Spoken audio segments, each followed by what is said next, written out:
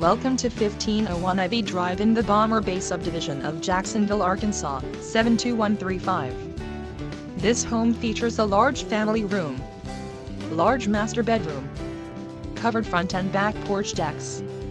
Convenient, yet quiet, location just minutes from Jacksonville amenities. Little Rock Air Force Base and Jacksonville High School.